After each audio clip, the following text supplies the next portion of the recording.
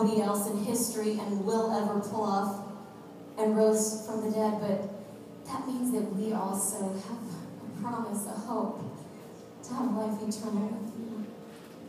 And that when you rose, you said, I give my life to you so that we can live um, your life and that your spirit dwells in us and that we can live your love and your love to others that they might see.